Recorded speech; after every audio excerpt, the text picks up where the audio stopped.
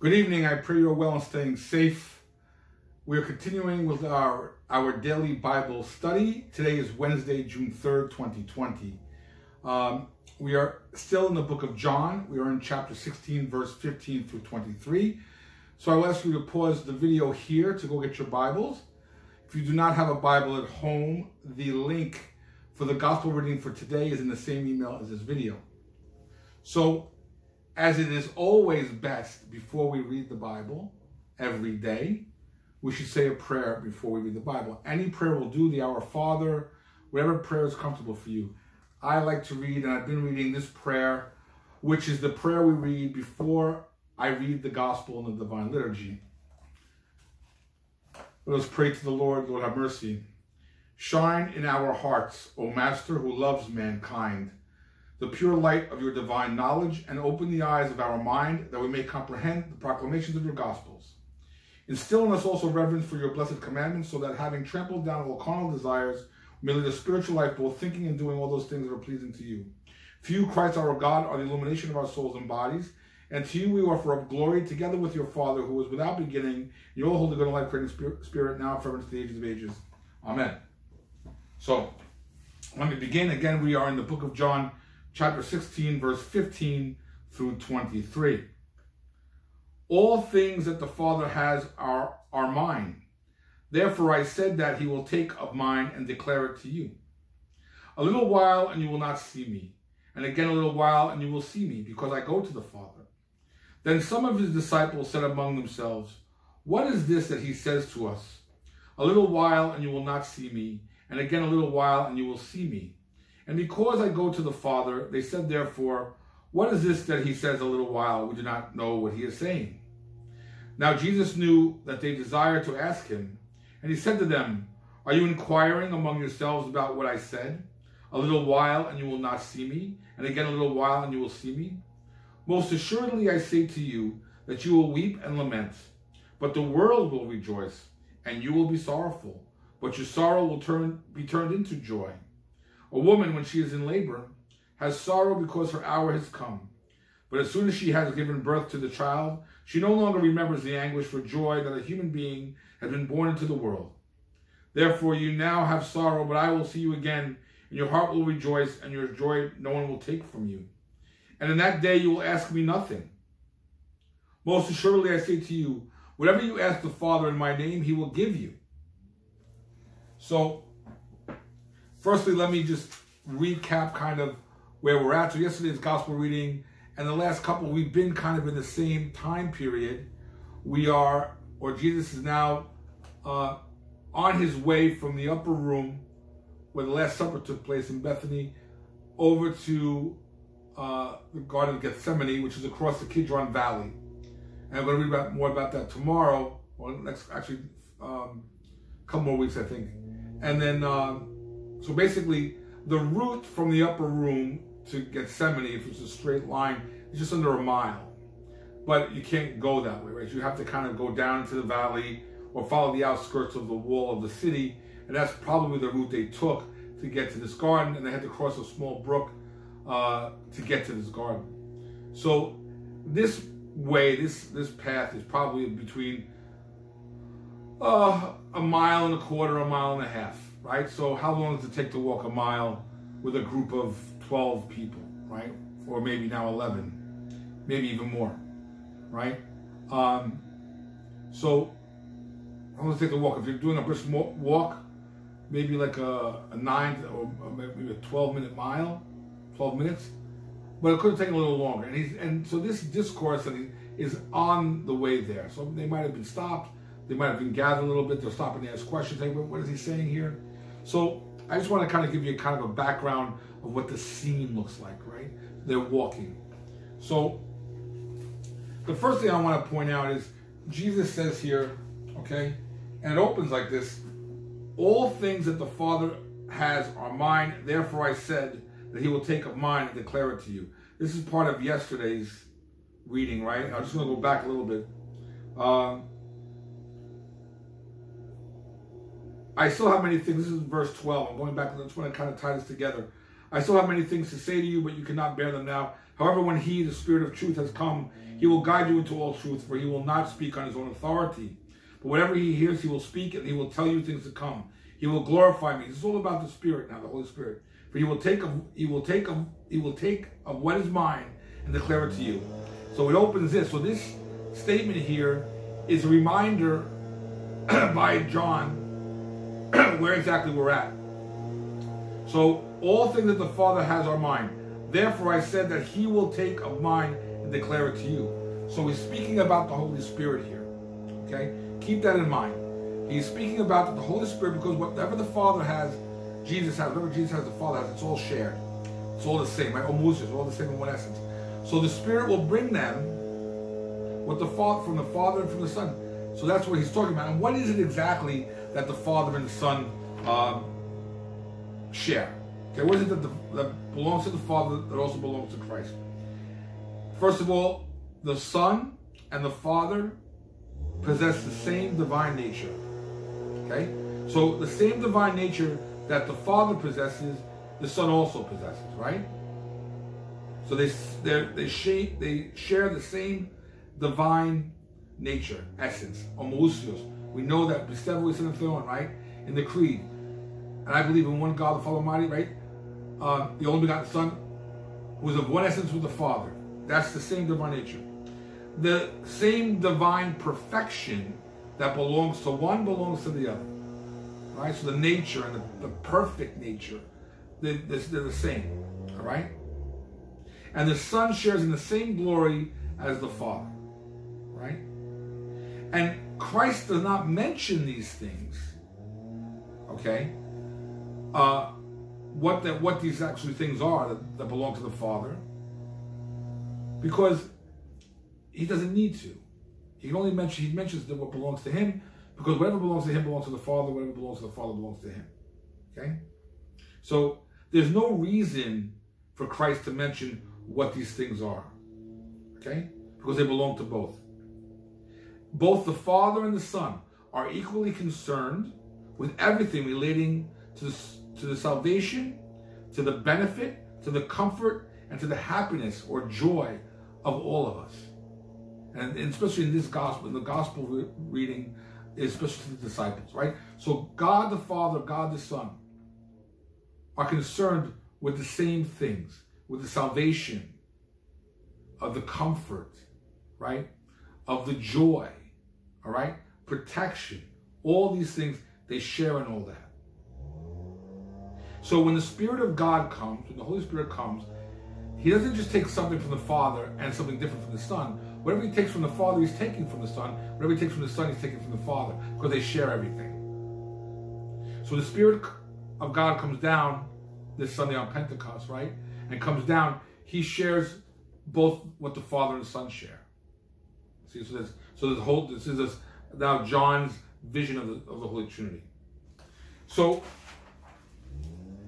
Jesus, in this John, in this reading, the lectionary opens with that to remind us that the Trinity is of one essence, right?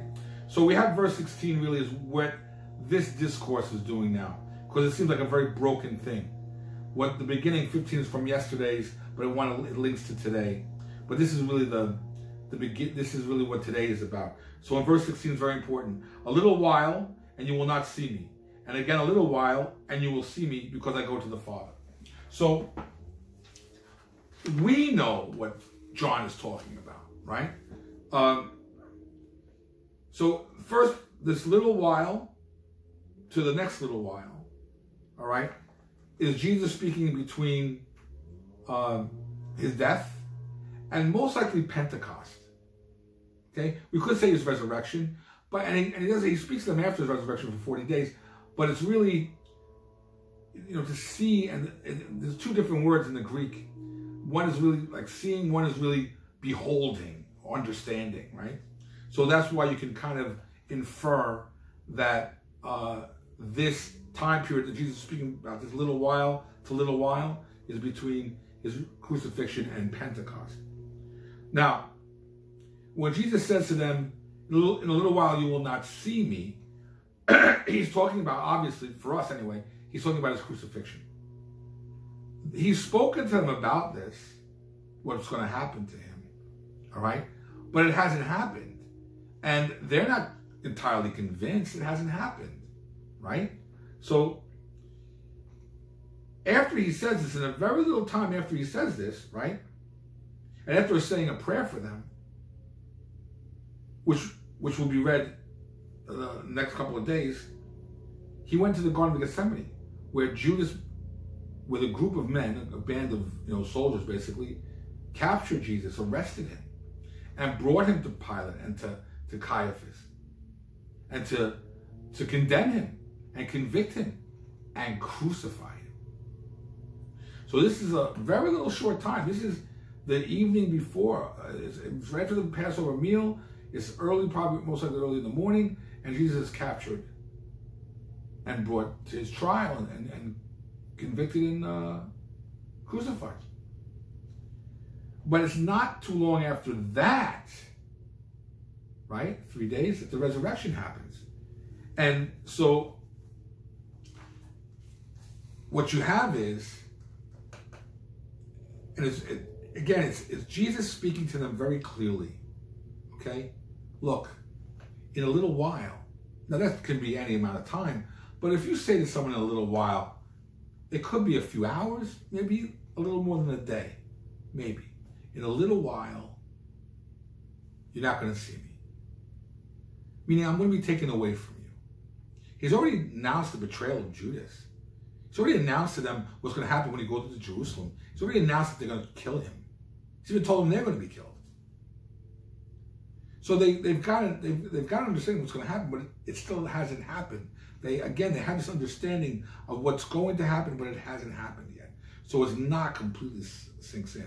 It's not until Gethsemane where they start to scatter, and that's what Jesus is trying to tell them as well. Look, you're not going to see me. You're going to take off. You're going to be so scared, right? And I'm going to die, and you will be filled with sorrow, great sorrow. And that brings me to the next, to the next, kind of the next question here, right? He knows. If let me just read this first, so you understand a little better. Jesus knows that, that they're asking, what is he saying this little while in this little while here? He says to them, Most surely I say to you that you will weep and lament, but the world will rejoice, and you will be sorrowful, but your sorrow will be turned into joy it's that idea now that the the disciples are hearing what Jesus is saying.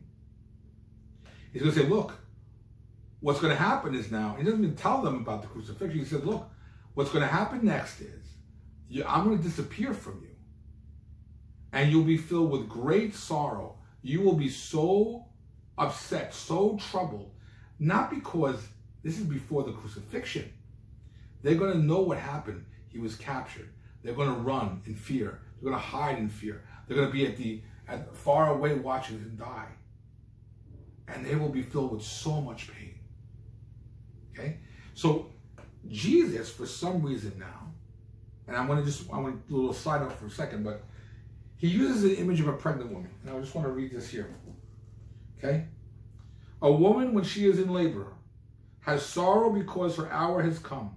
But as soon as she does, or she has given birth, to the child, she no longer remembers the anguish for joy that a human being has been born into the world.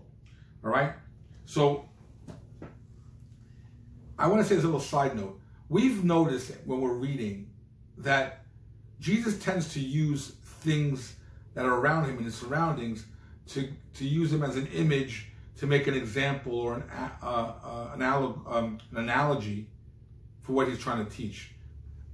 We don't, uh, some of the things I've read, there's no evidence anywhere to suggest that there was a pregnant woman or woman in labor walking with him. We have to assume that there's no woman in, because specifically say a woman in labor about to give birth, the, the very bad childbirth pains, right?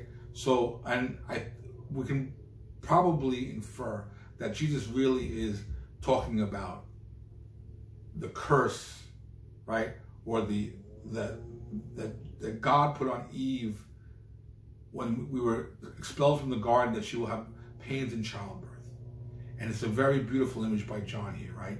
So John is using what Jesus has said, all right, about these pains, right, So this is just so again, this is a little side note because there's two things happening. Jesus is using the image for to show them what their feelings are going to be like. This great sorrow and how it's going to turn into great joy with the resurrection. John, I think, is pulling that out more to remind us back of this the pains of childbirth that were given to Eve because we we're expelled from the garden. But now with Jesus Christ, we have joy. So although we still are born, uh, a woman gives birth with, in pain. All right? There's the joy of the resurrection. Okay? And uh, that we have anyway. So the woman we even know before that. But again, what Jesus is trying to say here is other, and I'm just, I'm kind of pointing that out because that's what I think. It, it, seems to be like that, right? Um, Jesus is pointing, uh, Jesus is saying to them, look, the same pain, because when he says sorrow, he means pain, deep pain. And the woman has physical, very bad physical pain when she gives child, uh, gives birth, is in labor, right? Um, so he said, you're gonna have the same pain, but after he says, when the baby's born, those pains are immediately forgotten, you know? Um, and that for that moment, when the mother holds the child for the first time, the joy is so incredible. And the, the reason why because that's the joy of heaven. And it's a very fleeting moment for us. But it, and, and it comes back always back into your life when you have children. In and out, in and out. But that real that, that joy, that moment of joy, that's what Jesus is saying to them. Look, you're gonna feel the great pain of a woman in labor when you see me on the cross, when you see me arrested and whipped and beaten, you will, you will feel that your sorrow will feel that much pain.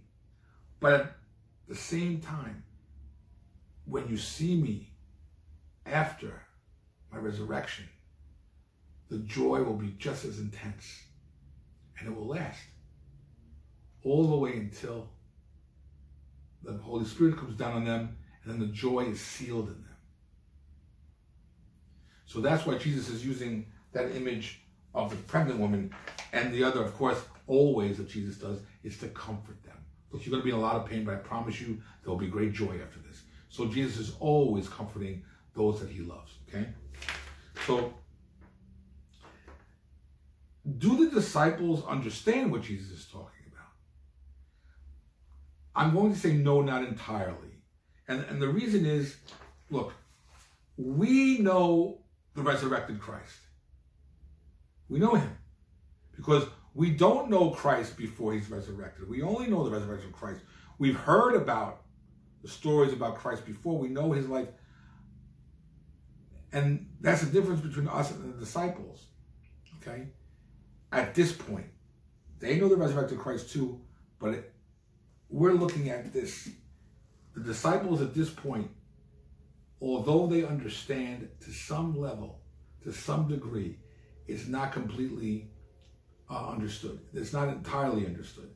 And, and there's still this, this level of humanity, that this imperfection that they have in their humanity, in their limited understanding, right? They don't know, they do not know yet. They do not know yet the resurrected Christ.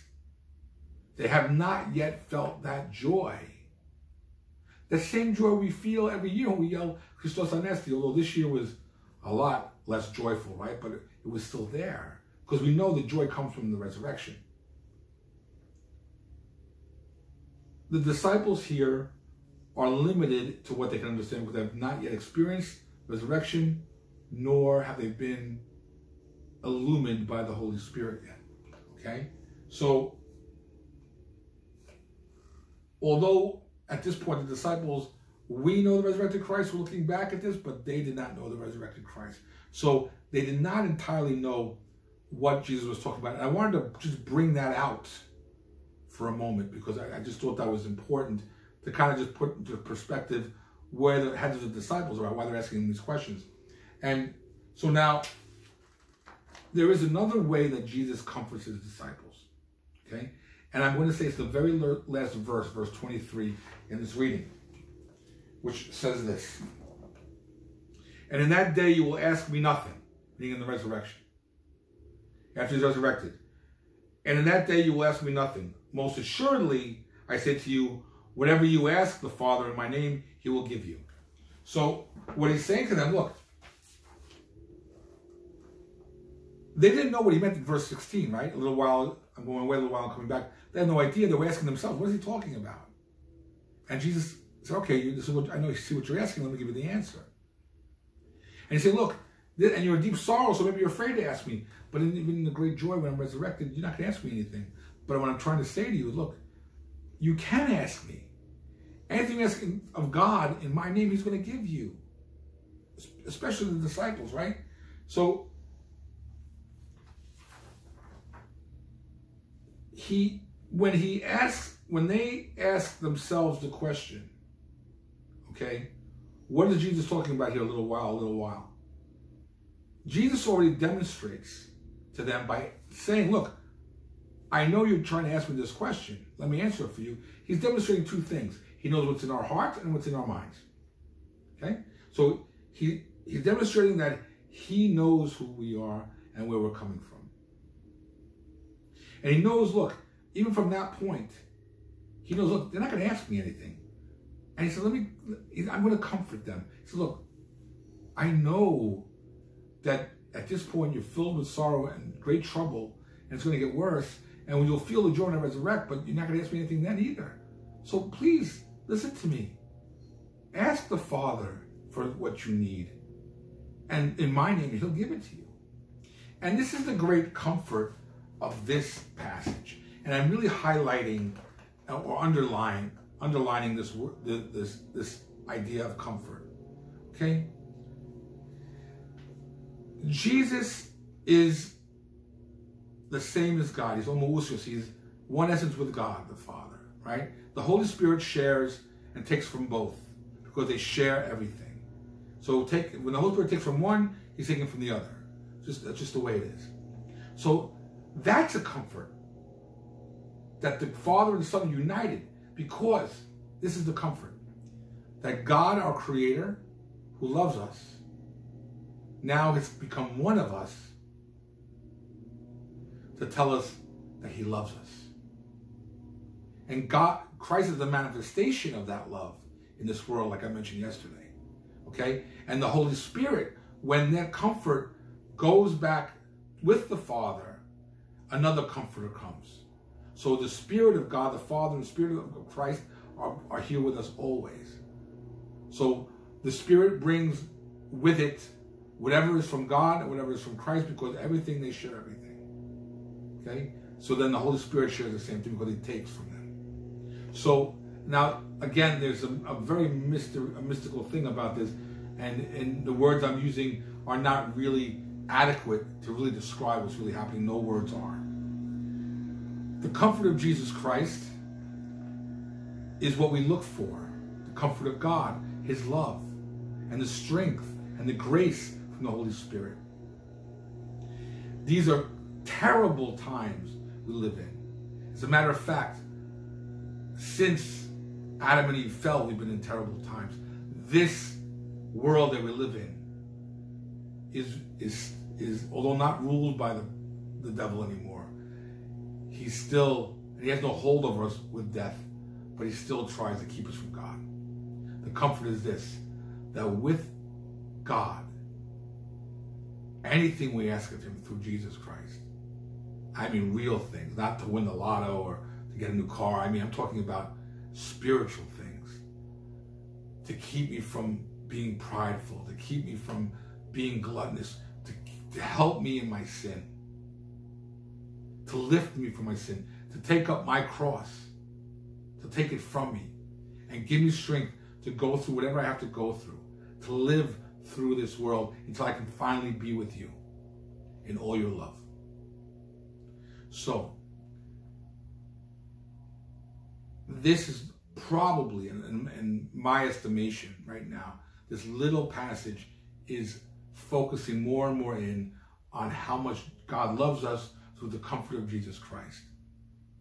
And because he knows he's leaving, but he knows, look, you're gonna you're gonna be fine, and you're gonna be so joyful, and I will send someone to keep that joy with you. May God bless you. May you have a beautiful evening. And remember, God loves us all. Have a good evening.